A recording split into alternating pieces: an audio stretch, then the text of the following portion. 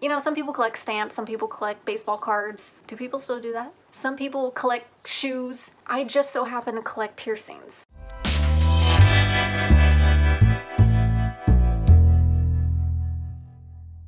Hey guys, it's Malia Taylor. Today I'm going to be doing, of course, if you cannot see by the title, the ear piercing video. Actually, look at that. Look at that glare. I'll take these off for you. Okay, hi. I've accumulated, I've collected quite a bit of piercings within this past year. I should have wrote everything down. We're just going to jump right into it. First of all, I'll show you my ears, right? Actually, one of these are fake. So we'll go over that in a bit. Two, three, four, five, six, seven. Two, so I have lucky number 13, 13 piercings, as if my life didn't need any more chances of having bad luck. Anyway, two have closed up, so I guess a total of 15 piercings, I guess? So I'll go ahead and get started. I'll try to go over basically every, you know, the basics, like which one I got done first, where's the jewelry from, do you care? Where did I get it pierced? What was the pain like? Recovery time? Do I regret it? All that jazz. Should I put my hair up? I straightened my hair so I was like, okay, I gotta film something. Okay, so I'm going to be talking about my first ear piercings. These are going to be my first holes in the lobe. I like to mix and match the earrings kind of decorate them however I want. The first lobes I gotten back in Maui when I was about seven. We are probably on a family trip and I grew up with my close friends at the time. They all had their ear piercings, like they'd gotten it pierced when they were infants. Me, I was a late bloomer. You know, I felt out of the loop. So went there, got my ears pierced, felt good about it. I don't remember pain because I was seven. You would think if it was any type of traumatizing pain that I would be here today explaining that to you, but I'm not so. The first holes were a success. I believe I went to like a Claire store in the mall. Of course, everybody knows that the lobe piercings are obviously less painful, less maintenance. Obviously, you still want to take care of it, but yeah, I didn't have any issues. This side, I have just like a cheap gold hoop that I probably got off of Etsy, and then this one is from Mejuri. It's from the Claire Marshall. Is it the Bound collection? You know what this is, the, the safety pin earring that she made. So I have one of those and then like a cheap little earring on the other side. Now, right away, I wanted a second piercing. My best friend growing up, she had her second second holes already by the time maybe like middle school. So she had hers, of course, being the copycat that I am. So the second hole, I was in about middle school. I believe I went to Ala Moana to get this done, probably at another Claire's. And you can't really tell. Actually, usually I can't even tell which hole it is. I believe it's this one. The way the lady had pierced it, it was like at a weird angle. So it's kind of at a weird angle and it's a little closer to the first piercing versus this one. This one looks a little more spaced out. So these are the second holes that I did back in middle school. I changed the earrings out the second day I got it pierced, which is a big no-no. Got those, again, don't remember any pain-wise, any troubles, nothing like that. It was another simple piercing. The second hole earrings,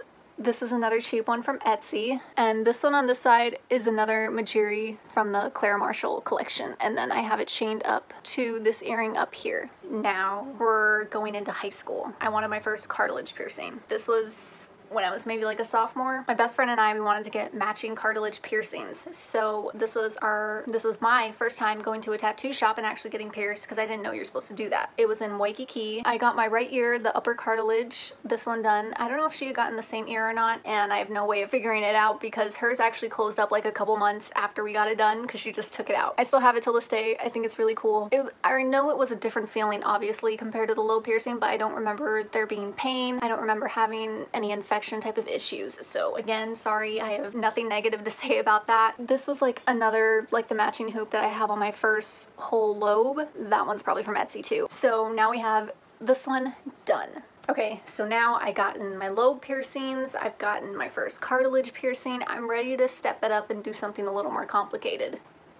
So this is going into college days, trade school in Arizona. I was working at Macaroni Grill and I wanted something different than what I already had. And one of the waitresses at Macaroni Grill, she had tragus piercings on both her ears, both left and right, and it looked cute. It looked cool. So I decided to take a baby step and get my first tragus piercing. I originally got it on this ear right here. You wouldn't know because it's closed up. You can still kind of tell where the hole is. Maybe you can, I can, but I took it out for personal reasons However, I'm pretty sure they used, I don't know if I'm going crazy, but is there such thing as like people using like a hook type of needle? Because I swear they did almost like a like a hook type of movement. It was almost like a pop feeling on the tragus piercing. I do remember seeing blood, but I wouldn't say it was painful. It's just like a pressure type of thing. It feels like something is pushing or pulling your ear, but it wasn't painful. Let me make that clear. I don't have, I didn't have any issues with infection or the healing process. So that was pretty straightforward too, and I really liked it. Okay, so now this is kind of when I started really getting into YouTube, really watching YouTube, beauty gurus, all that kind of stuff. One beauty guru that I was always watching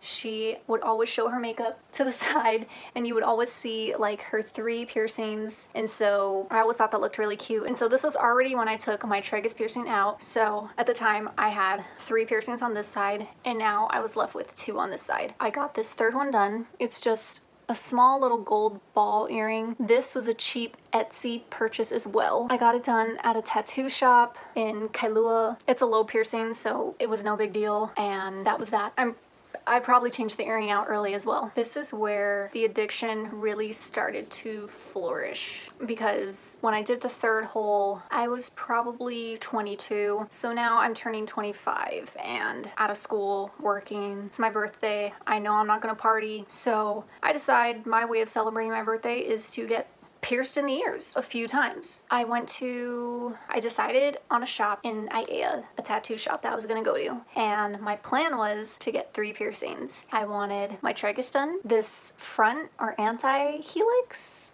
I'm not even sure what it's called. This type of helix earring, the hoop one, and I wanted one kind of right across from it, but it wasn't this one.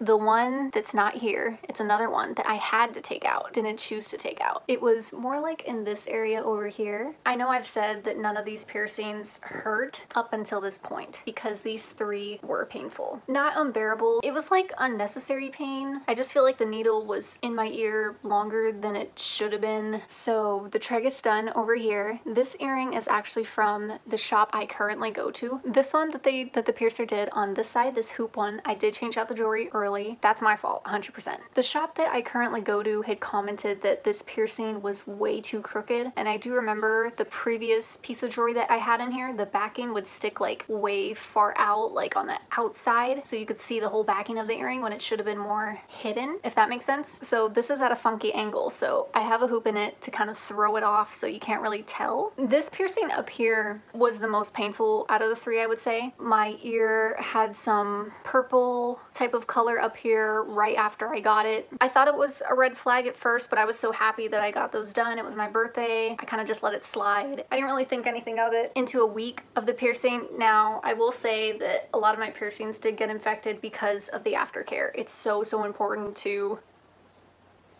it's so important to make sure you maintain your piercing. Basically, don't do what I did. It's an investment, it's your body, and be very diligent with it. I wasn't, I'll fully admit that. Also my job, my hands are dirty all the time, my face gets dirty all the time. So I'm pretty prone to getting infected in general. So it's just something I have to deal with. So this one did get, the upper one that's not here anymore, it did get infected really bad. It did swell up so much to the point where my ear was maybe sticking out this much. Like no joke, it was sticking out a lot. It was throbbing really hard It was red, it was inflamed, it was throbbing to the point where this side of my head was throbbing and it was just too ridiculous. I couldn't wait to get in a doctor's appointment. I ended up going to urgent care. They prescribed me antibiotics and I waited a little too long. Like I thought it would just, I thought the body, my body would fight it off. I was wrong, clearly. And so I just couldn't take the pain anymore and I decided to take the earring out. I did some research and some people did suggest that you shouldn't take out the piercing because when it heals, it can enclose the infection. But the doctor did recommend recommend that I do take out the piercing if it doesn't get any better, so I just flipped a coin, decided to take it out. Shortly after, the tragus piercing did get infected also. Not like swollen infected like how this one was, but it did give me a hard time to where it never felt like it was healing. It always felt kind of raw. When I would clean it, I did notice blood pretty much every time I would clean it. I have to keep an eye on this guy, but this one,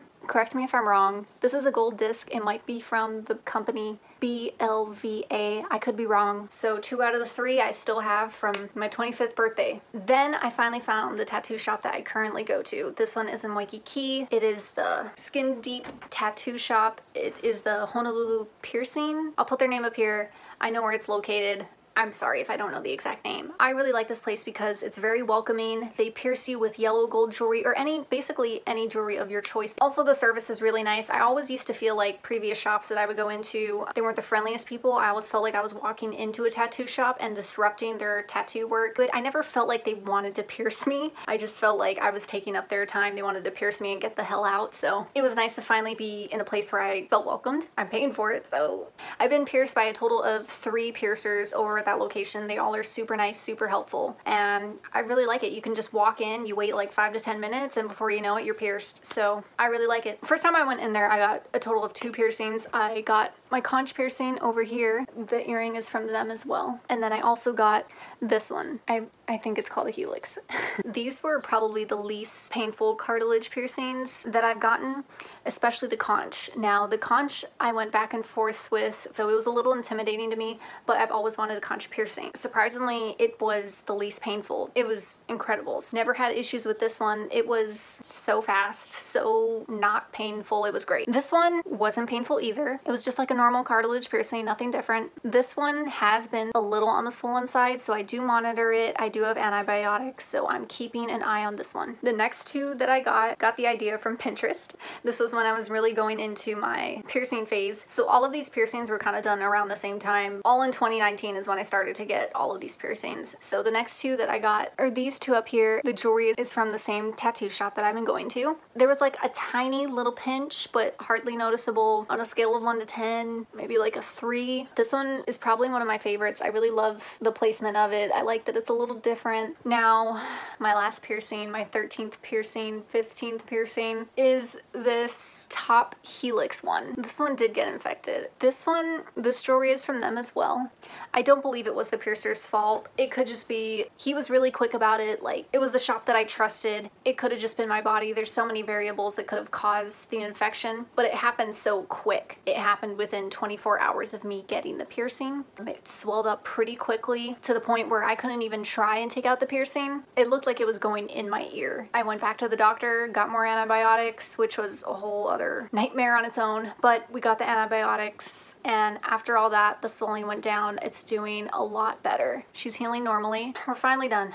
We did it guys. That was the piercing video. I went through like a little piercing binge, but I'm done now. I, I tapped out. Like I'm not doing it for a long time. If you think I have too many piercings, okay, I probably do. Maybe I don't. Who really cares? It's just piercings. I enjoy them. I love jewelry. So this is another way for me to enjoy my jewelry addiction.